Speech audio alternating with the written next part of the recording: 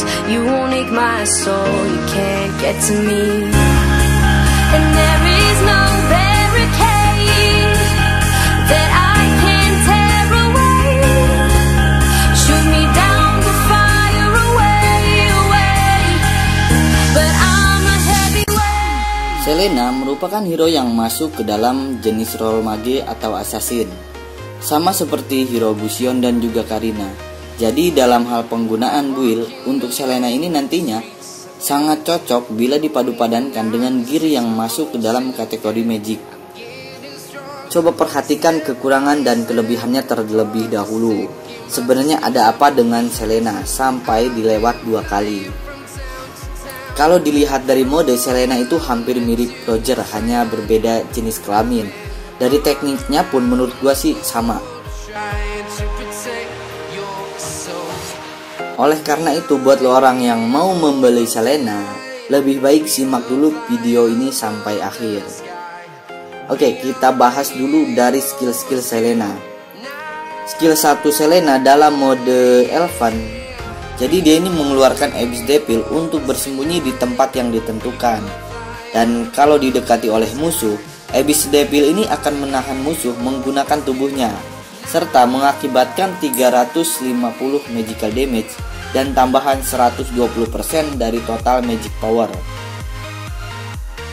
Dan selanjutnya skill 2 Selena menyalurkan kemampuan Abyss Devil menjadi arrow yang dilemparkan ke lokasi tertentu. Nah, musuh yang terkena serangan akan menerima efek stun selama 0,5 detik.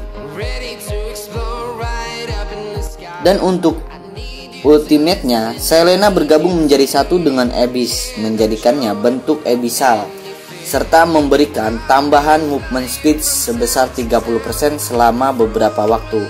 Nah, Selena juga akan memiliki skill baru ketika menggunakan ultimate-nya. Skill 1 dalam mode abyssal, Selena ini memanfaatkan kemampuan Abyss untuk memberikan kekuatan pada cakarnya sehingga membuat basic attack selanjutnya itu mampu memberikan tambahan damage 300 magical damage serta bisa memberikan sebuah seal kepada Selena yang dapat menyerap 300 damage. Untuk skill 2 dalam mode Abyssal, Selena ini melompat ke arah tertentu yang menyebabkan 150 magical damage kepada lawan. Dan jika dalam kemampuan ini kita mengaktifkan efek Abyssal Mark, maka cooldown skill ini akan langsung di reset. Dan dari kedua mode tersebut, yang menjadi mode untuk serangan jarak jauh adalah mode Elven, atau dalam hal ini adalah Selena sebagai role mage.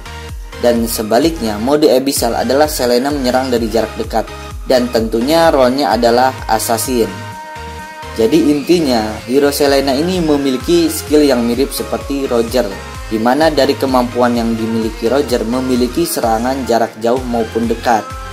Begitupun dengan Selena yang hanya tinggal berubah menggunakan ultimate untuk bisa beralih sesuka hati jika ingin menggunakan serangan jarak jauh ataupun dekat. Dan dari penjelasan skill tersebut, kita bisa melihat kelemahan dan kelebihan dari Selena.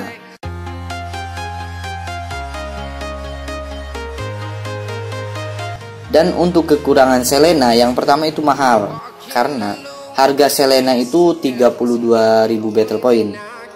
Kekurangan yang selanjutnya boros mana. Kalau boros mana kayaknya hampir semua assassin makan banyak mana, apalagi ini role-nya mage assassin. Kekurangan yang selanjutnya kurang di mode elven.